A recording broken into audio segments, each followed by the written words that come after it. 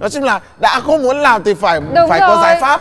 Phải có giải pháp một là có tại sao? tiền hay là phải tìm Phải cách thôi. mà việc gì phải là một trong hai người làm? rất là tại sao nhàng. không thuê giúp việc mà làm? Trời ơi! tất nhiên là không. Đi làm kia làm cái gì? Ở trong để có tiền để mình comfortable dậy sớm không làm những cái việc nội trợ hay là ngày Dạ. lễ tết thì chắc chắn sẽ bị bởi vì trách. em nghĩ là miền Bắc vẫn giữ gìn văn hóa truyền thống của Việt Nam mà đó là một văn hóa em nghĩ nó là đẹp mà thì Salim không? có thể nói rõ ràng chắc chắn văn hóa cách đây 1.000 năm nó sẽ khác với văn hóa cách Đúng đây rồi 200 em năm ơi nó sẽ hòa nhập tôi rất là đồng ý nhưng mà ông bà chúng ta ngày xưa là đều săn bắt và hái lượm thì có thể vô tình cái công việc ấy nó đã khiến cho về, về sau nó tạo ra thành những cái phân chia vì là phụ nữ thì còn ở nhà vì còn có thể cho con ờ, ờ, bú thì làm sao mà có thể đi săn bắt được? Thứ hai nữa là đàn ông sinh ra đã là cái bộ máy để dùng để chiến tranh rồi.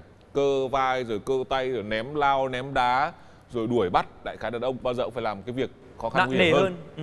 bảo vệ bộ tộc của mình bảo vệ buôn làng của mình đại khái là đàn ông phải lo việc đấy. Phụ nữ là take care con cái nhà cửa thế vô tình dần dần nó tạo ra thành một cái ranh giới về việc là phân công công việc nhưng không có nghĩa là những người kia không làm được việc của người còn lại. Đúng rồi em công nhận gì anh đó. nói thật luôn là chỉ trừ cho con bú theo cách tự nhiên anh không làm được.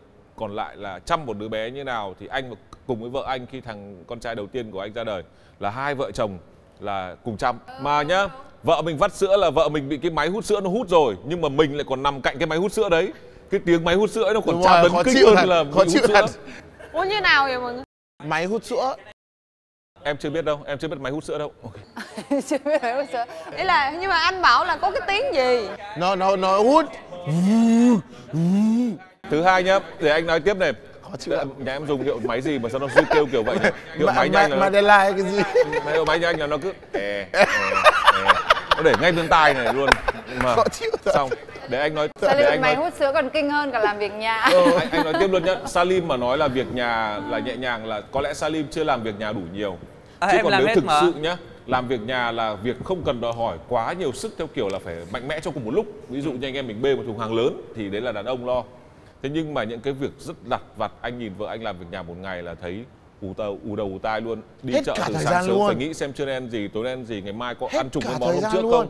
Vân vân. Xong về nhà lại con cái vân vân. Kể cả có giúp việc nữa vợ anh cũng đi làm. Thì nói chung là mọi thứ phức tạp hơn rất nhiều. Anh cũng phải chen được vào làm được cái gì thì làm thôi nhưng việc nhà là những việc không tên được định nghĩa chung là việc nhà.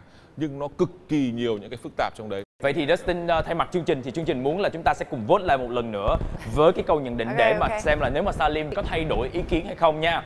Cái câu hồi nãy á, là chữ mặc định mình bỏ chữ đó đi mình nói là nên phụ nữ nên là người làm việc nhà. Nên. thì mọi người đồng ý hay không Nên. đồng ý? Nên thì đồng ý. Nên. Tham gia việc nhà nhà thì mình đồng ý phải khẳng định một điều là không phải khi không mà ngày xưa ông bà Việt Nam ấy nói một câu là đàn ông xây nhà đàn bà xây tổ ấm hay. Có thể cả hai đều kiếm được tiền để có thể xây nhà anh đồng tình.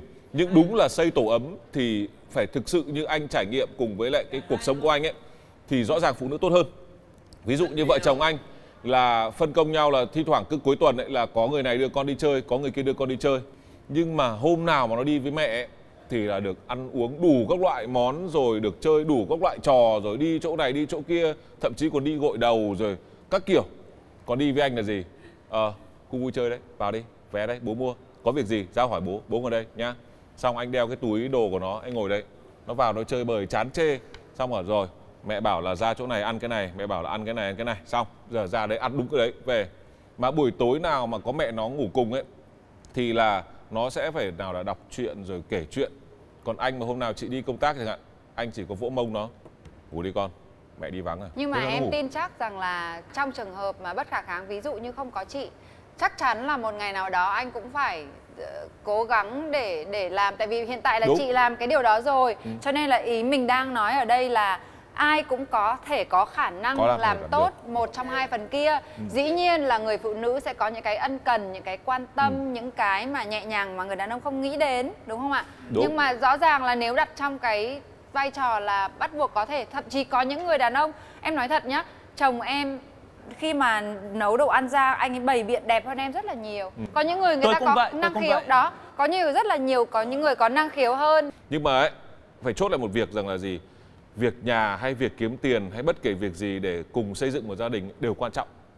Nhưng mà có một điều chắc chắn khẳng định rằng là người phụ nữ dù có ra ngoài làm việc hay là cô ấy có làm việc nhà hay gì cô ấy vẫn luôn luôn là trung tâm của một gia đình. Vẫn là cái trung tâm của sự ấm áp đấy. Tại vì gia đình nhà anh ấy, ngày trước là có một cái đợt là gia đình nhà anh là có cái việc chia tỉnh giữa Nam Định và à, Hà Nam. Thế thì mẹ anh phải lên Hà Nam làm anh ở với à, Nam Định ở dưới với bố thì đúng là chỉ đến cuối tuần nhà anh bắt đầu nó mới có sức sống thôi. Còn lại hai bố con thì cứ việc ai nấy làm cơm thì cũng ăn được thôi thôi. Bố con mình ra quán ăn. Chỉ đến buổi cuối tuần về bắt đầu mẹ đi hết các mắc áo ngửi xem áo nào chua áo nào bẩn rồi bà già giặt. Rồi bà già mắng là tại sao không giặt? Rồi vân vân vân tán loạn cả nhà lên. Nhưng đúng là những ngày cuối, cuối tuần thực sự là rất ấm áp.